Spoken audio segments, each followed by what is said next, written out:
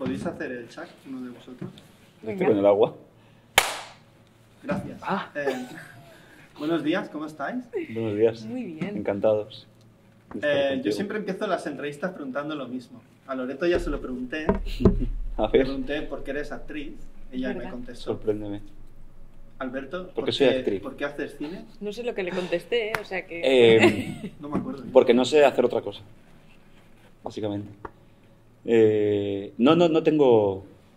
Pues no, no, no lo sé. La verdad es que son muchos factores, pero es lo que quería hacer siempre. No recuerdo un momento de mi infancia donde no quisiera hacer cine. Eh, recuerdo coger una, una High 8 de mi abuelo, que en esa época eran como camarotes, unos armatrostes terribles, y rodar unas escenas como siendo secuelas de Indiana Jones cuando tenía seis años, pues ahí empezó un poco todo, yo qué sé, a partir de ahí, a partir de ahí he seguido haciéndolo. No me imagino la vida sin el cine.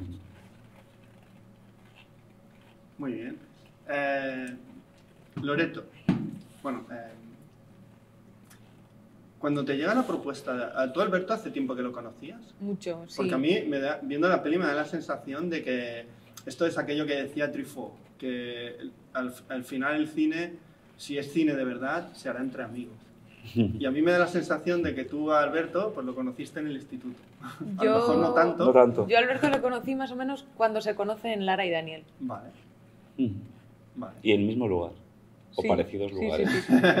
muy cerca. Vale, sí. entonces, Alberto te hablaba mucho de hacer esta película, porque el Alberto hacía sus cortos metrajes y tal, pero él tenía pensado en hacer un largo, él tenía pensado en hacer esta peli, o un día te dijo, mira, tengo una película que me encantaría que fueras la protagonista, Loreto.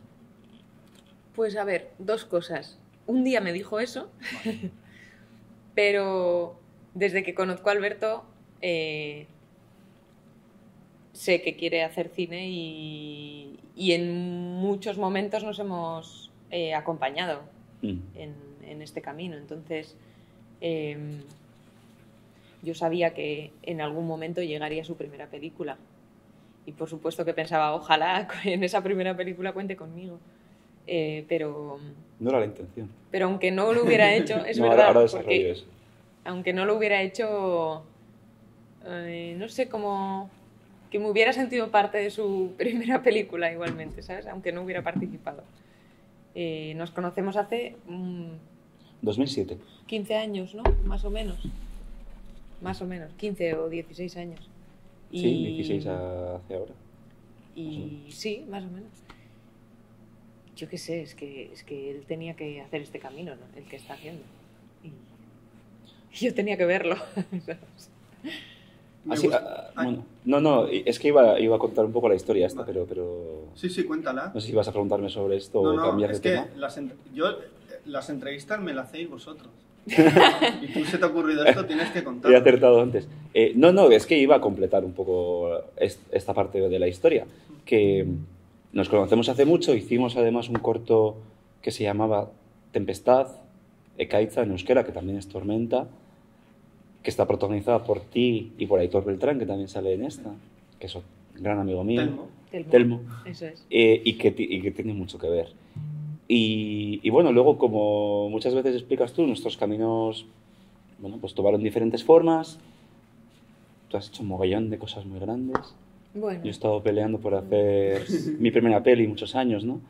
Eh, y no estaba previsto mm, que esta fuera la primera. Y, y yo creo que lo que ha ocurrido con esta peli eh, es algo muy mágico en, en muchos sentidos. Y uno de los sentidos es que hayamos compartido este proyecto, tu primera protagonista, mi, mi primer largo rodado mm, también el primer largo de Alex, el primer largo de Íñigo, el primer largo de la productora, ¿no? de mucha gente, eh, por, casu- por, por casualidades. ¿no? Y, y por eso las casualidades tienen cierta importancia en el desarrollo de la peli.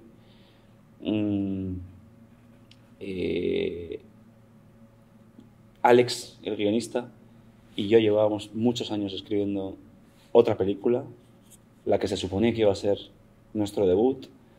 Y, y bueno, circunstancias que llegaron muy de golpe y muy aceleradas hicieron que acabáramos primero anteponiendo este proyecto y terminando haciendo, haciendo esta película juntos y, y estoy muy contento porque ha sido Los así, porque tenía del que ser así. son inescrutables. Inescrutables. Sí, sí. Em, a mí hay una cosa que me, que me... Leyendo el dossier de prensa, porque yo me, yo me los leo de arriba abajo y más de una vez, como el, el libro de la toscuela. En- entonces, dices que hay dos imágenes muy, muy importantes en tu película que a partir de ahí empiezas a construir la historia. Pero a mí, el momento de la ballena, de- del mar, ¡buah! Solo con eso, ahí hay una película ya. Ujú. O sea, es, un- como un- un- una secuencia poderosísima y cómo está rodada. Cómo, es muda. de ¿no? hecho, toda la película hay como un misterio que desvelar y que al final, no se, para mí, no se desvela ese misterio. Quizá otro espectador piense que sí.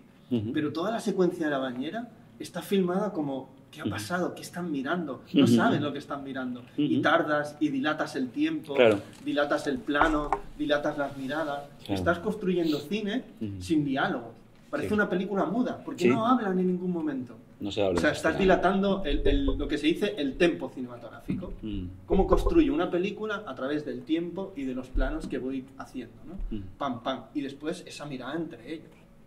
Sí, esa escena Wow. es, es guay lo que dices y, y te agradezco que, la- que te despiertes esa sonrisa. ¿no? Hablar, está- hablar de, por de eso la está escena. el, el blanco y negro. Es que no se puede contar esta historia en color.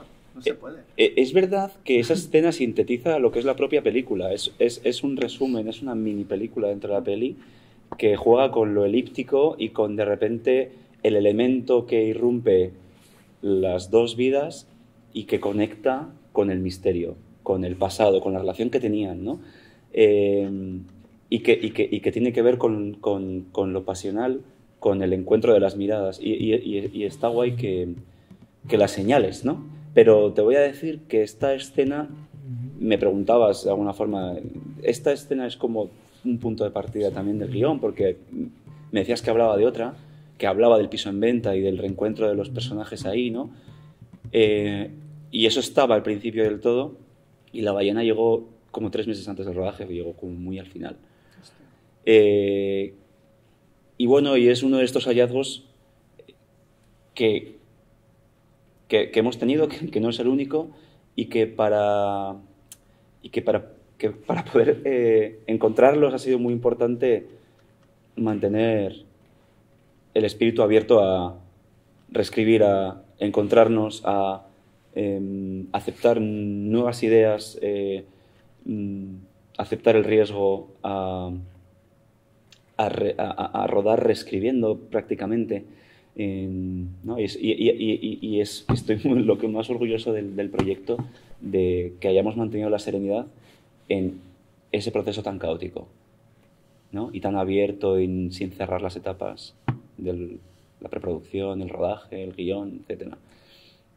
Yo es que pensando en la peli me acordaba de una peli de Martín Patino del ochenta y pico, me parece, de, con Charo López, que vuelve a su pueblo después del final del franquismo y tal. Ujú. Ella vuelve a su pueblo y empieza como a recordar, a, rememorar. Y, la- y el, el propio paisaje urbano acaba como teniendo vida, acaba siendo esa ballena, ¿no?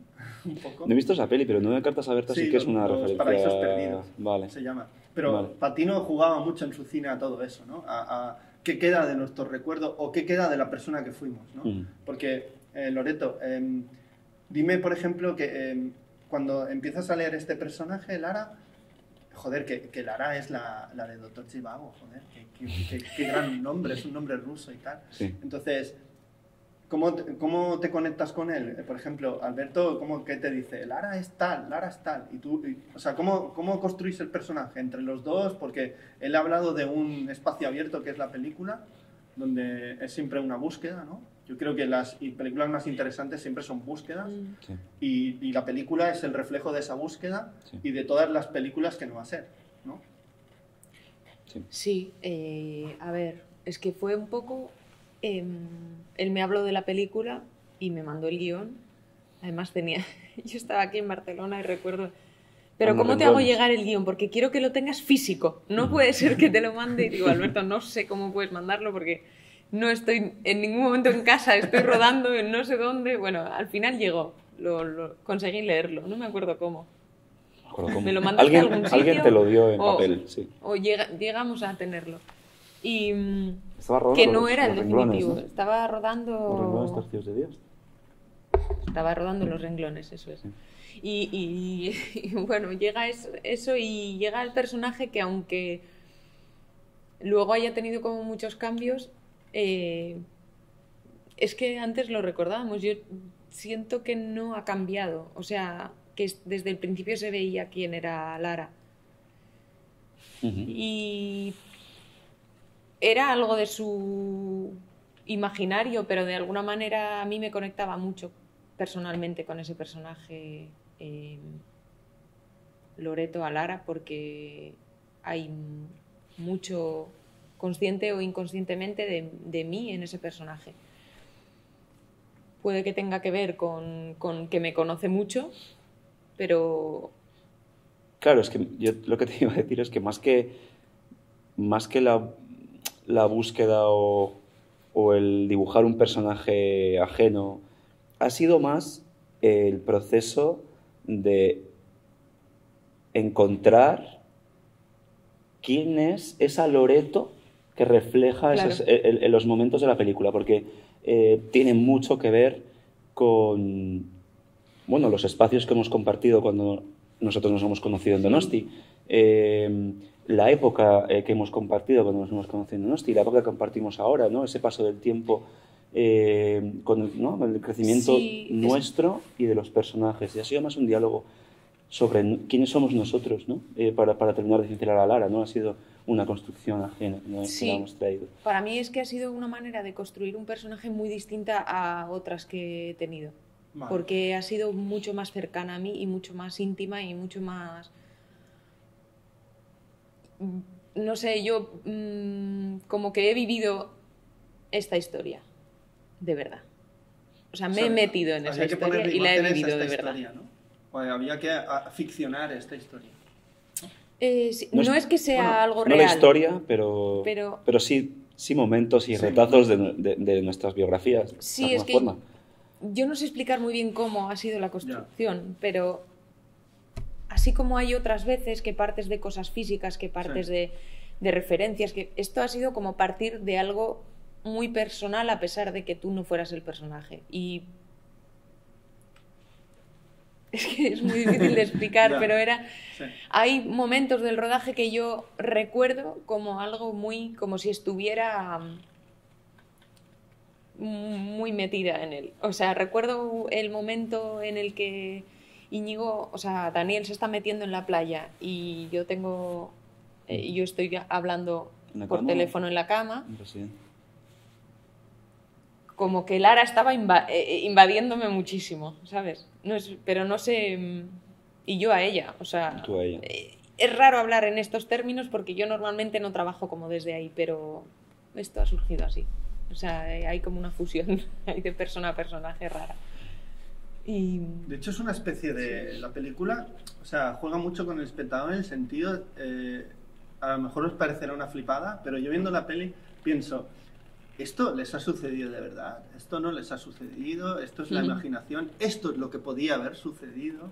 Todo ese juego metacine que tiene la película es maravilloso. eso es. Yo, y ahora, eh, con cuando me ha llamado Íñigo, que habíamos cambiado el lugar de la entrevista, Sí. le digo, ¡guau! Este, y, y me ha venido. Digo, esta peli es como aquella de, de Jenny, de William Die- Dieterle. Que, que ¡wow! Era maravillosa. El William Dieterle del, del cine expresionista alemán, se va a. Estados Unidos por los Ujú. nazis y tal, y hace, hace esa peli, Portrait of Jenny. Aquí se llamó Jenny. Y, y va, es la historia de, de una relación de, no saber si, si está sucediendo de verdad, si no está sucediendo, si es un recuerdo, si es una imaginación. Porque luego cuando, cuando ellos se encuentran, dicen, hostia, parecen dos desconocidos. Pero esto les ha pasado, ¿no les ha pasado? ¿Son ellos? ¿Son, ¿Se parecen? ¿Sabes? Entras tú en un juego que la película te propone. Y Ujú. además todo contado con una sencillez, Ujú. como si fuera una película de estas francesas de los años 70. Ujú. O sea, un rollo... De hecho, hay un momento que se dice Donosti, la pequeña París. ¿no? Sí. Y a mí, y además, es muy chulo porque yo he estado en Donosti, pero wow, parece otro Donosti. No sé. O sea, ¿cómo se nota? Yo digo, hostia, ¿cómo se nota que la gente que ha hecho esta peli es de Donosti? Qué guay. qué Porque bonito. no busca las cosas que busca el típico turista tonto Por ejemplo, por ejemplo, Woody Allen. Porque O- no vive en Donosti. O, o otro. Sí, pero sí, sí que hay ver, Claro. es retratar la ciudad desde otro lugar. Sí, Sí, totalmente. Y ese momento que están ellos allí mirando hacia, hacia ese abismo, ¡guau, es brutal! Porque no sabes lo que les va a ocurrir. Exacto. Están como empezando, hay Sí, un abismo. es que están empezando a vivir de y por alguna eso están manera, arriba. claro. ¡oh, qué guapo! Están arriba porque es un abismo. Porque es todo. un- De hecho, en el plano de Daniel, eh, en- en- en- cuando no estamos en el de situación o en Sí. el general de los dos frontal, sino en el suyo, en el eje, eh, aparece el, el- el lugar allí abajo de la playa, de la concha, donde la ballena luego va a estar varada, ¿no? Eh, esa conexión siempre estuvo ahí, sí, sí, sí, Vale, que, sí que está el abismo él, debajo. ¿no? O sea, de hecho, me parece que luego hay un plano de pescado, Mm. lo Sí. terrenal. Sí, Claro. O sea, hay, Sí, hay sí, algo sí. terrenal en esta relación que. Porque, hostia, nos encantaría tener una relación con mariposas y romántica y en el aire, pero en realidad lo- el, el contexto social siempre se impone, ¿no? No nos, equi- no nos engañemos, ¿no? Efectivamente. Tú te- y- sí, un segundo. Vale, vale. Ok. vale. vale. Gracias. Eh, entonces, em, vale, em, estaba aquí. Entonces, em, la manera de buscar los espacios, tú esto los lo conocíais, ¿no? Decías, aquí tengo que rodar este plano, aquí tengo que rodar esto, aquí no sé qué. Prácticamente El todos. cremallera Sí. lo tengo que rodar así. Prácticamente todos. Prácticamente Y todos. además es muy guapo porque llegan al cremallera arriba del todo y no ves lo que están viendo. Eso es cine, eso para mí es cine. Porque estás todo el rato interpelándote, diciéndote, imagínate lo que hay delante. Sí. Es como el plano de la playa, imagínate qué va a haber delante. Claro. No sabes qué va a haber. Sí, hay mucho fuera de campo, eh, tanto a nivel visual como, como de guion. Hay, Sí. mucha- hay- hay- mucho elíptico. Eh, tengo que decir también que los medios austerísimos que nos contábamos han ayudado a, a afianzarnos en, en rodar de esa manera y en, en no mostrar tanto. Y en es que la sugerir. gente se olvida, a veces el cine muestra demasiado. Mm. Sí, estoy de acuerdo. Es que, no sé, hay algo, el- en Jenny, todo este tipo de Mm. cine clásico, había medios y, y el fuera de campo era fundamental. Mm. La elipsis era fundamental. Uy, qué susto, perdón. Había gente arriba. Fantasmas del, del DEA. Esos son espectros, no son reales. Espectros del ¿Está DEA. pasando o no está pasando? Sí. Em, ahora, para terminar, Sí. quiero que me recomendéis cada uno de vosotros una película que hayáis visto hace poco y os haya encantado. Hace poco. Eh, Y no os he dicho por qué me parece que la peli es en blanco y negro ni en cuatro tercios. Porque si es en blanco y negro solo puede ser en cuatro tercios. No puedes hacer una peli en blanco y negro panorámico. Sí, hombre, hay muchas. Ya, pero Muchísimas. no molan tanto. Yo me parece que el cuatro tercios... Ya, no lo sé, sí, sí, sí. Eso tam- yo también lo he sentido así y desde el principio fue así. Pero tiene ese aroma Pues de que los franceses sabían hacer también esas pelis de Mm. Garrel, de, Sí. de Lustage, de La Sí. mamá y la puta, to- todo, es- Sí. todo- todo- este tipo de cine francés de los Mm. 70 Ujú. que dijeron, estas historias solo se pueden contar así, porque necesitas una intimidad. De hecho, la, la ciudad Mm. es íntima, Donosti. Y digo, qué guay, es íntima esta, esta ciudad, tan turística, tan... no sé", Pero Sí, tiene sus claro. momentos íntimos. De como de duerme vela, ¿no? Como de... No sé. ¿Esa película cuál puede ser? ¿Esa película cuál puede ser? ¿Loreto? Que he visto ¿Te hace poco. que estaba pensando así que hubiera visto hacía... Bueno, hace poco vi la de 12 hombres sin piedad, Sí, que no la Mm. había visto vale. y que se ha convertido en uno de mis favoritos Sí. absolutos. No la tienes había visto y de ver el- repente... El, estudio 1 que hicieron en España. Claro, pues exacto. Que está Pues, en, en televisión. No a la sé, carta, sí, en, Play en la gratis. 1, ¿no? Sí. Eso es. Dices Pues- como el coloquio que hicieron. No, en- hicieron el- estudio como- 1 en España. Entonces, Hombres sin Piedad, filmado. Eso es. Igual, Ah, pero... vale, vale, Sancho vale, vale, vale, vale. José Boda, Vale, vale, vale. Pues esta... Bueno, no tiene nada que ver, pero es como que de repente se me ha venido porque es como de las últimas que he visto en casa y he dicho, ¿cómo no había visto esto yo antes? Es el debut de Sidney Lumet. Sí, Sí. es el debut. Es impresionante. Le Es dijeron, impresionante. Es de encargo, ¿eh? Sí, es impresionante. Pero él dijo Sí, que sí, si sí. no lo hacía Henry Fonda, que es mejor no hacerlo. Claro. Pues yo me quedé Normal. alucinando con la película y además luego hablé con mi madre un día más tarde o algo así y digo, "Mamá, ayer vi esto y me dice, hombre, pero si era una de las pelis favoritas de tu padre. Y digo, "Joder, yo cómo no Ay. sabía esto. ¿Sabes? Señor Pero Mauleón. del señor Mauleón, sí, sí. No, yo, yo voy a ir por algo que, Vale. que, que tampoco había visto, que la tenía ahí pendiente y no sé por qué, no había visto todavía, que es una peli de Michael Mann, que en su día se me pasó y me ha, y me ha fascinado, me ha, me ha parecido súper magnética, me ha parecido una peli de texturas, de fantasmas. mantener la intriga durante un de largo fan- rato. de- y, y- y- y eso es muy diferente a esta porque no es una peli sobre, sobre el argumento, sino sobre un estado de, de vivencias, que es Miami Vice. Que me ha parecido No la he fascinante. visto. Me ha parecido fascinante. Me ha parecido Luis muy Tosar, poderosa. Luis Tosar, Luis ¿no? Tosar. Eh, no, me ha parecido como de las grandes pelis de- del siglo XXI. Y No me conectaba mucho además con la manera de, de- de ver el cine que, que, que despliega Pacifiction, de alguna forma. Y me parece muy interesante. Ok, Albert también pasó por esta cámara. Lo tengo que publicar en la entrevista. Es una entrevista ¿Ah, muy sí? loca, muy loca, en serio. Pero es que Albert mola mucho. Sí. Eh, pues un placer hablar de, la quietud y de las tormentas. Muchas gracias, sido un Pues placer. este, qué chulo esto, ¿no? Esto de las... De hecho, había una peli española, La vida en un hilo, que es una tormenta de Carneville, que una chica se va con un, a- con un personaje y te cuentan esa historia. Y también se va con, con otro personaje. Y te cuentan las dos historias, qué podía haber ocurrido. No, no he visto, sé de cuál hablas. pero- Sí. Es que hace peli- poco alguien escuché hablar de esta peli, ¿no? sé Sí, de Carneville. El Mm. Carneville era muy grande. pues nada, eh, Loreto, eh, Alberto. Gracias. Un placer, Un placer. hablar de vuestra maravillosa película. Y yo siempre digo, hasta la próxima película. Eso es. Hasta la próxima. Hasta la próxima película.